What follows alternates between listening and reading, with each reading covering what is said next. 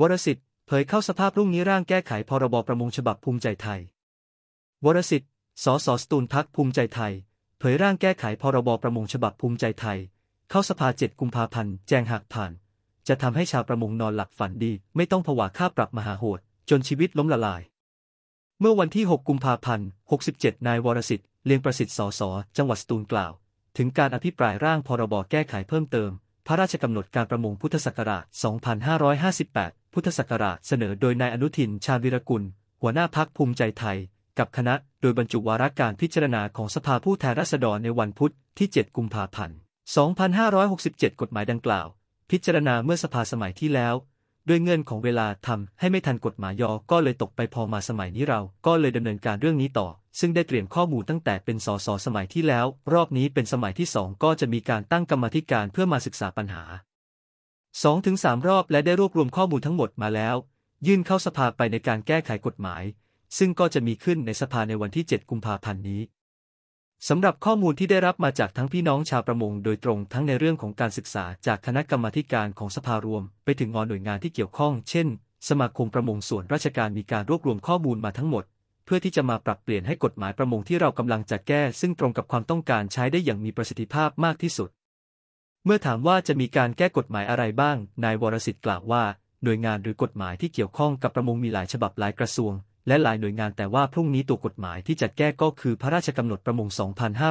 2558 ซึ่งเป็นกฎหมายหลักที่บังคับในเรื่องของการทำประมงหลักๆ แล้ว จะเป็นเรื่องของการเข้าไปดูบทกำหนดโทษ ซึ่งไม่มีความเป็นธรรมเช่นกฎหมาย ที่ออกมากลั่นแกล้งประชาชนกฎหมายฉบับนี้เหมาะที่สุดแล้ว ที่จะใช้คำจำกัดคำว่า คำจำกัดความคำนี้กับกฎหมายฉบับใหม่ เหมือนหลายคนที่ไม่ได้อยู่ในแวดวงประมงหรือว่า ไม่เคยทำประมงอาจายมาเข้าใจยกตัวอย่างเช่น ถ้าคุณออกเรือไป โดยปกติ จะต้องมีการรายงานว่า คุณจะออกกี่โมงออกไปมีคนงานกี่คน จะกลับเข้ามากี่โมงมีสัตว์น้ำกลับมาเท่าไหร่ ถ้ารายงานผิดคุณโดนปรับ 5 0 0แสนหรือการกระทำความผิดที่โดนนอบัญญัติไว้ในข้อความผิดร้ายแรงเรือบางลำก็โดนปรับเป็นหลักร้อยล้านถามว่า ควรจะต้องปรับขนาดนั้นหรือเปล่าสำหรับอาชีพทำการประมงนั้น พวกเราก็ทำกันมาตั้งแต่รุ่นบรรพบุรุษ แต่ทำไม ถึงจะต้องมีการลงโทษที่หนักหนาสาหัส ขนาดนี้ตนไม่ได้ปกป้องคนทำผิดกฎหมายที่จะต้องดูแลป้องกันให้คนทำผิด ควรจะต้องมีแต่มูลฐานความผิดต้องดูด้วยว่าหนึ่งความตั้งใจเขาเป็นแบบไหนมีการตักเตือนก่อนหรือไม่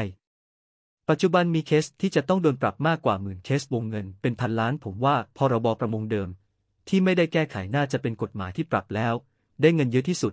ในประวัติศาสตร์ชาติไทยด้วยซ้ำไป ซึ่งในความเป็นจริงไม่ควรจะเป็นอย่างนั้น นายวรสิทธิ์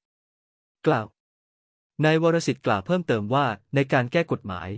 ในวันที่ 7 กุมภาพันธ์นี้ ถ้าสำเร็จสภาผ่านการพิจารณาสิ่งที่เกิดขึ้น คือผู้ทำอาชีพประมงเขาจะสามารถทำประมงแล้ว ก็สามารถนอนหลับได้แบบสนิท โดยที่ไม่ต้องผวาว่าตื่นมาจะโดนโทษอะไรจะโดนปรับกี่ล้าน หรือต้องมานั่งระแวงในทุกการกระทำทุกอย่างจะทำให้กลับมาใช้ชีวิตแล้ว ก็ทำอาชีพประกอบ อาชีพได้อย่างมีความสุขมากขึ้น